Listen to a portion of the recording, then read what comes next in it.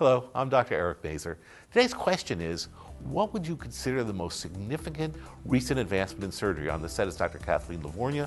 She's surgeon and chair of the Department of Surgery at Norwalk Hospital. Kathleen, what's, I mean, there's so many. What are the most significant advancements? I think there are two. Uh, one is the patient safety movement, and that is making sure that patients understand what they're having done and a whole team approach to checks and balances for the care of that patient. The second is technology. We really have an electronic computer technology that helps us refine what we can do as surgeons with both minimally invasive surgery and the use of robotic technology. And, and how, how does it, in technology, what are, the what are the big changes that affect the patient?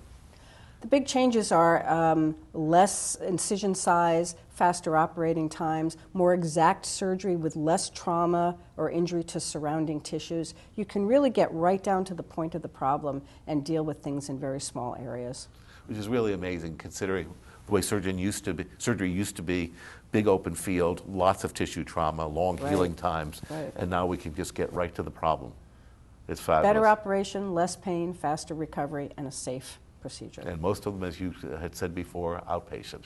Right. Which is really amazing.